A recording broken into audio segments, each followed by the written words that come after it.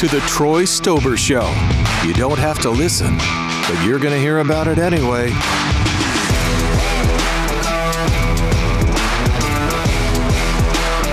You don't have to listen, but you're going to hear about it anyway.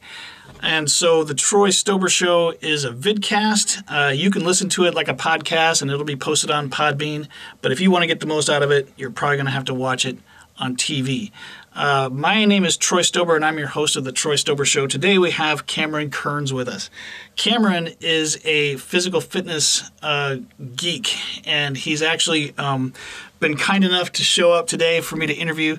Uh, he works over at Nautilus Plus here in Oregon City, and uh, I got a lot of questions for him to find out about how things are going. Uh, before we get started, um, I want to tell you that the Troy Stoeber Show is sponsored by Cox Electric.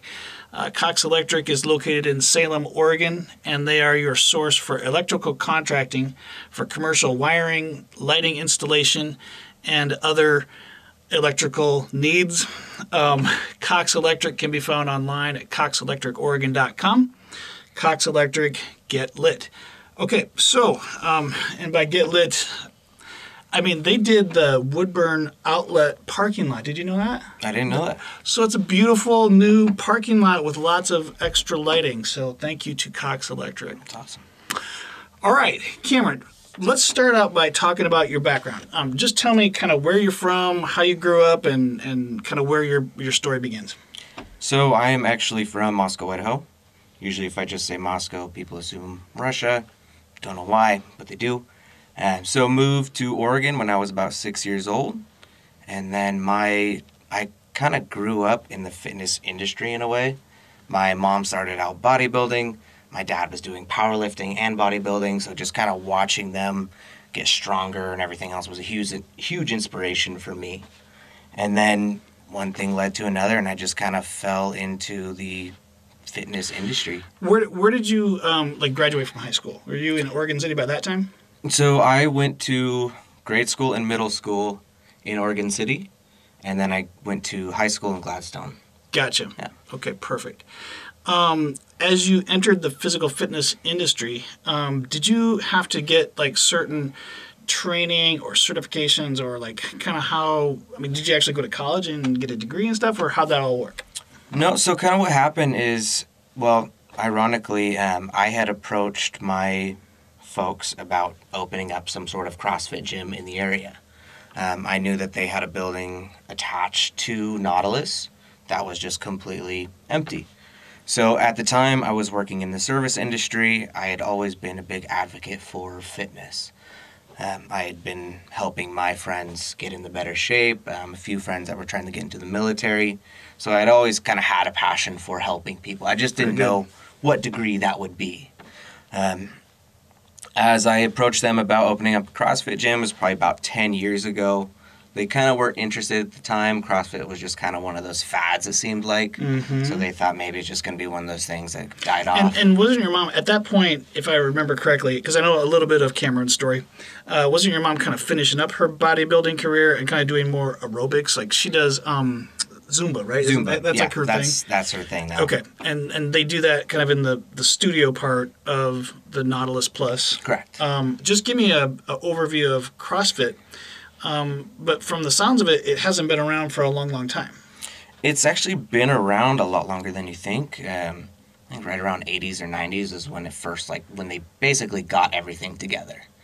Um, and then from there, it didn't really blow up until around, I want to say 2007, 2008, when they started showing the CrossFit games on ESPN. Ah, okay. And everything just kind of blew up from there. Yeah, you've okay, wait a minute it. now. Okay, so is this is this like? I think I know what this is. Is this like just kind of like the light bulb, folks? The light bulb went on. So this is like those guys in the gym who are like doing all those stations, right? Like who are doing like ropes and they're doing strength and medicine ball, like all that stuff. In a way, yeah, it's a way to kind of fuse Olympic weightlifting, a lot of gymnastics movements like handstand push-ups. Uh, now they have people doing handstand walks onto things and all sorts of uh, crazy Okay, things. Uh, but yeah, it's just a combination of that, kind of throwing it all into one high-intensity style workout. Okay, perfect. That's a great way to put it. High intensity style workout. Um, and so, in a way, this was kind of like an evolution of strength and conditioning with aerobic exercise. And, you know, at one time I, I actually enjoyed Body Attack, where I got to use um, some strength and conditioning with aerobic exercise.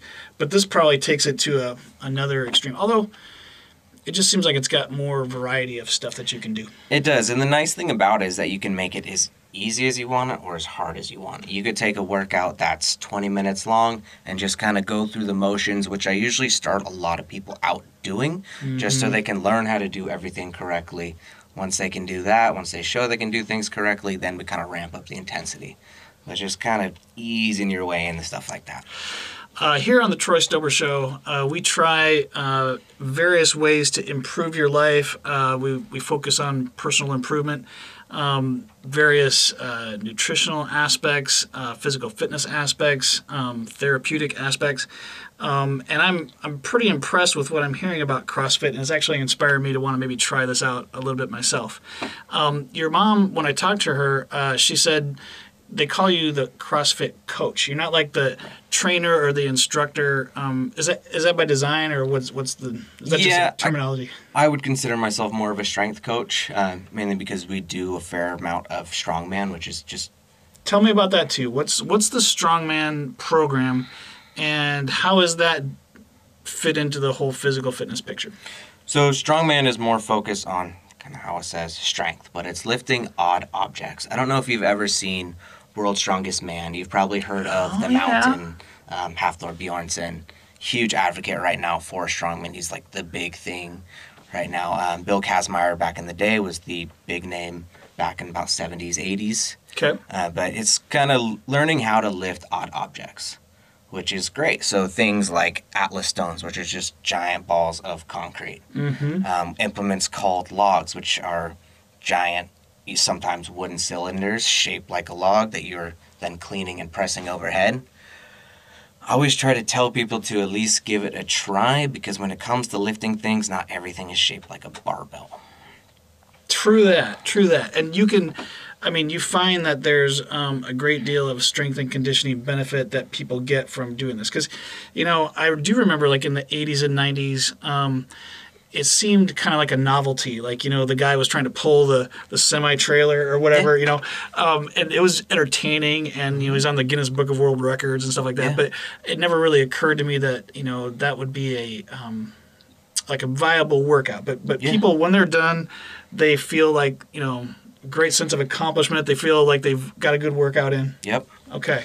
To kind of give you an example, a lot of like CrossFit workouts, they can be a little bit longer. So anywhere from, let's say, five to over an hour of a workout where you're just trying to kind of get through it as much as you can. Um, strongman is more of a weighted sprint. So either trying to get as many reps as you can in about a minute. Normally that's how long each event is, but that's at a much heavier weight. So it's a little bit more intense. Okay. Okay. Um, Interesting. yeah, it's a it's a blast. It kind of gives you an opportunity to pick up giant balls of concrete and deadlift vehicles, which is always fun, right? Somebody once told me um, the best thing that you can be doing is the thing that you're not doing. Right. Like for me, I should probably be doing more long distance running, but I'm not built for that. Right. Built for short distances. I don't know if you see the noodles here, but you know they're just not. No, I got. It's a different kind of tra- like your training to me would be horrible, and my training to you would be absolutely horrible. It just depends on the person and kind of how you train. There you have it. All right. Well, that's very interesting. Um, so we got a little snapshot of CrossFit strongman training. So you're um, actually located in Oregon City, right over by um, the what street is that on? Beaver Creek or Beaver Creek, yeah. Beaver Creek. Can you give me some idea of what to expect in terms of results? Like, how does this physically, and I'll get to the mental part too, but how does this physically help you um, improve yourself fitness wise?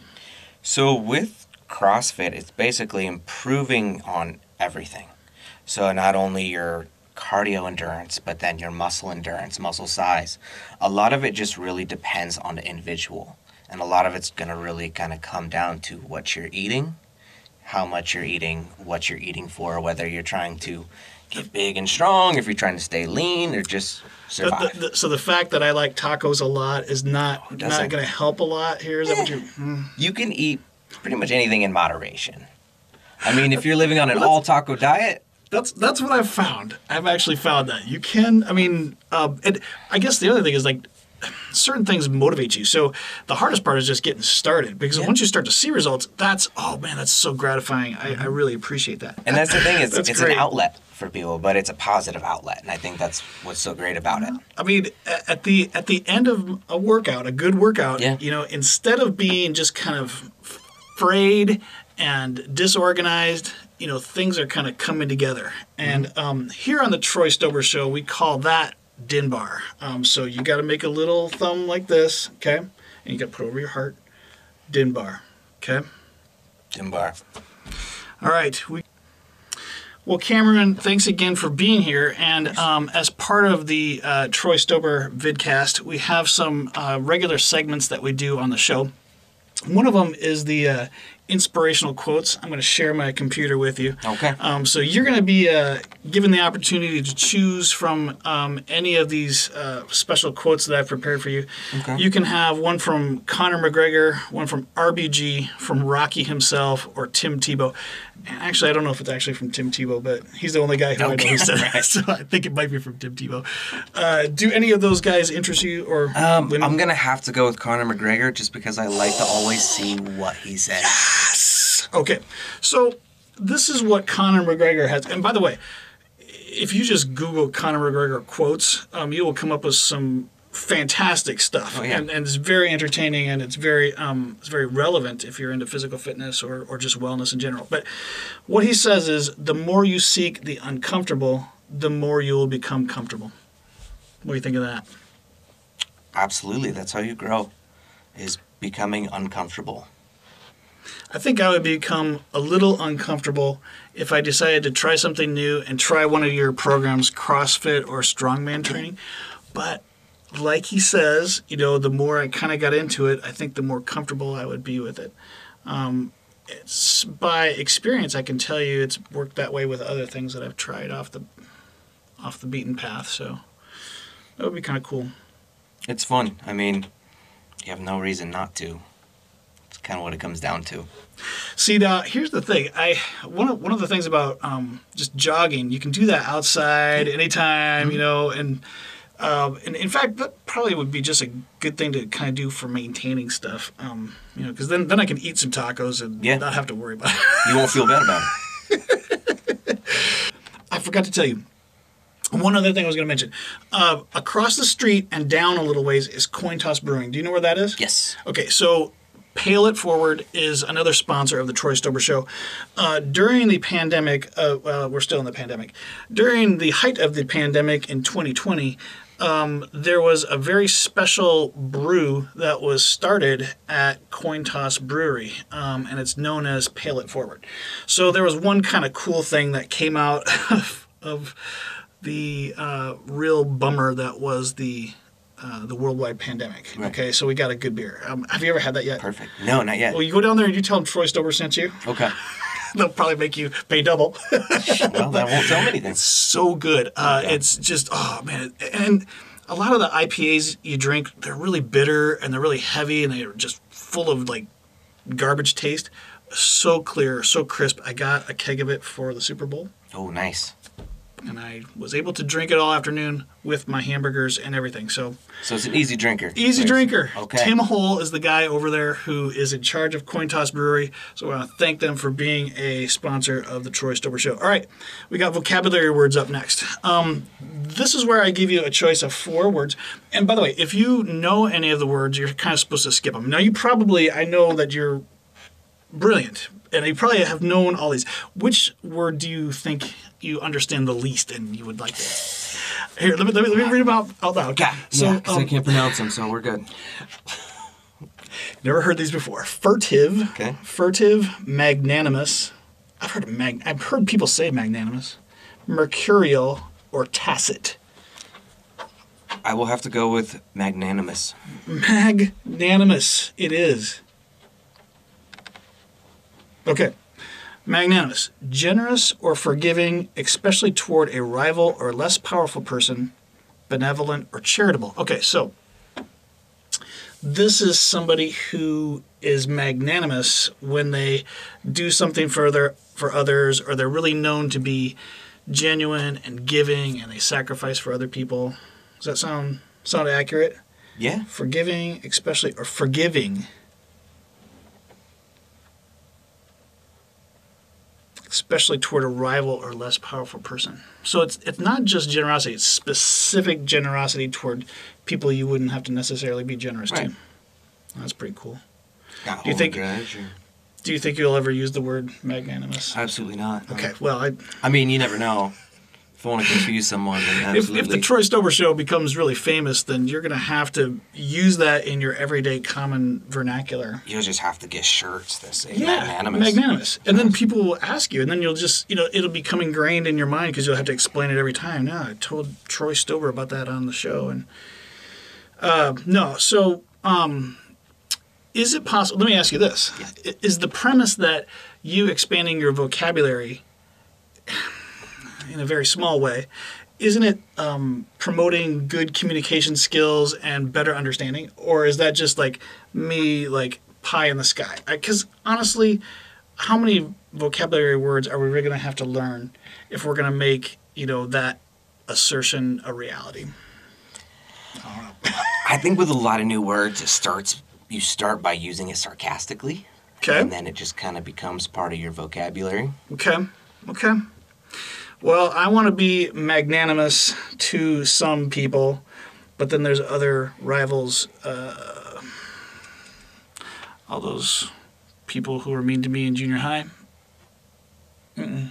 See, No, we're not. that's not very magnanimous of you.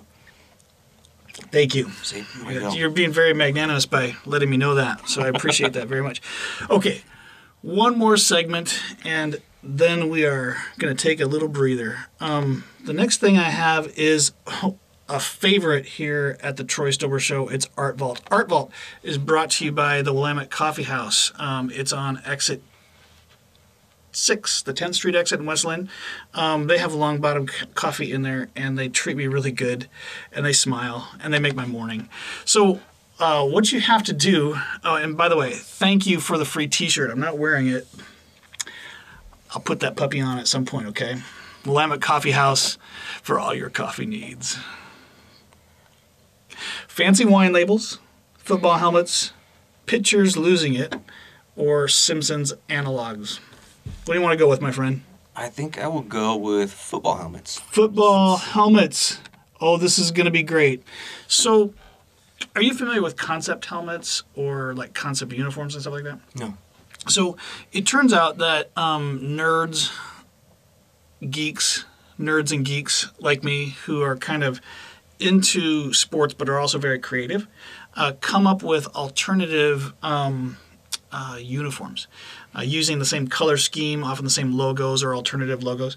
And so, what we do is, um, you know, since we were kids, you know, the um, the logos of our favorite sports teams have always been pretty much the same. And so um, there have been attempts um, over the years uh, in various capacities for um, artists to make concept logos, concept football helmets in this case. So I have some National Football League uh, helmets that I'm going to show you. What I want you to do is just do you, do you know what the, the regular helmet of the Atlanta Falcons is? No. It's like a black helmet with like a. Here, let me show you. So it kind of looks like that. Okay. Um, they were just in the Super Bowl a couple years ago. They lost to the Patriots. Are you not? You you told me you're a football fan. I that, was. that right there. See how that that little. Yeah. Was that too loud? By the way, sound man. I just kind of yelled. Okay, sorry about that. Um, that logo right there is like the Falcon logo. Okay. Um, and so this is kind of like a reversed um, uh, color. So this is actually usually black, but that's kind of what it looks like, uh, like their regular helmet.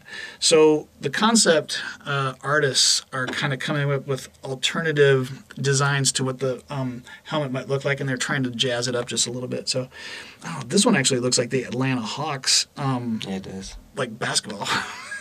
Very creative. So they, they are creative, and like I what I've noticed is that a lot of the bird ones, like the um, the eagles and the cardinals, you know, they kind of keep coming up with feathers everywhere. Yeah. So it's it's getting a little bit old, but anyway, see how they got the, the bright red and stuff, and Yeah. offset it with the black um, face mask. Okay, so who else do we have on here?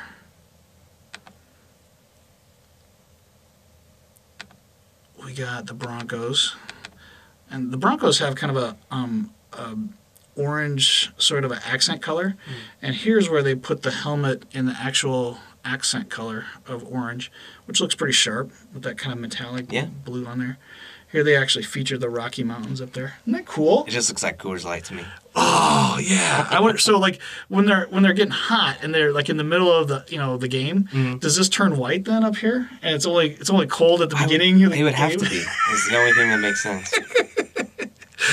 Uh, yeah, and you probably recognize that. That's like Yeah. the, the logo, but it's it's big and bold, and it's got like you know accent colors to it. So, well, let's hear it for the Denver Broncos. Got a few more. Let's see, Jacksonville Jaguars.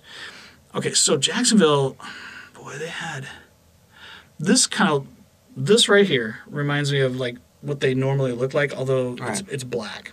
But they have that Jacksonville logo. That's pretty cool. Don't you like the color? No, I like that one. This one has like a little bit of like skin, cheetah skin underneath there. I think I Um, like that one the best. This this one is um, kind of interesting because this concept uh, artist went and um, tried to figure out like what all the helmets would look like if they were teams from Star Wars. So so this is like the Wookiees, but it's actually um, in the design of the Jacksonville Jaguars.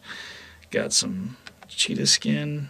Not ch- or uh, jaguar, uh, probably jaguar skin. Definitely Is a jaguar jaguar different, different than a cheetah? yeah. Okay. See, there you go, man. Isn't that cool? That looks pretty cool. I like the Jacksonville Jaguars. I know that one just kind of looks like Dennis Rodman's hair. Okay, Kansas City. I see. Now I should have started with like a what a regular helmet looks like, so that you can see like what oh, they're. used to watch football for Okay, so- years and years.